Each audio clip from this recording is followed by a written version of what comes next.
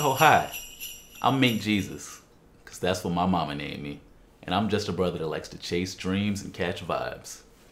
It's that time of year again. And this Christmas, I give you the very special gift of Mink Jesus.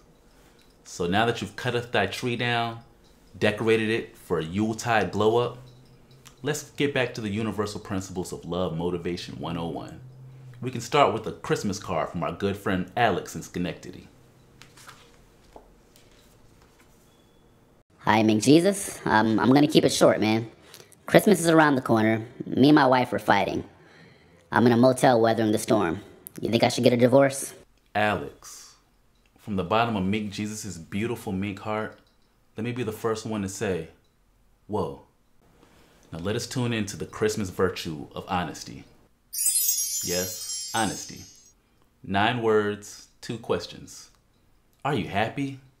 What are you doing about it? If it's over, you knew that at least a year ago. Don't let these boyish good looks fool you. Yes, Mink Jesus too has wasted hours of his life chasing honey, only to find out that it was high fructose corn syrup. Bad for your health. Man, if it's over, leave. But Alex, if you're even a little bit sure that for the rest of your life, these are the only buns that you want to snuggle it up to after a long day of busting thy donkey for the man? Alex, Alex, Alex, you are about to go on a journey, my friend. Check out of thy den of meth and hiding and go confess thy love to thy wife. It's Christmas, man. But beware the scent path. Many a man has found himself dwelling in the land of whack relationships because he tried too hard to fix things with flowers and candy. Be a man. Cutteth off thy TV, thy phone, sitteth in a quiet room with thine helpmeet, and go, Hush, woman, I'm trying to talk. And she's gonna go, Happy wife, happy life. You go, No. Happy spouse, happy house.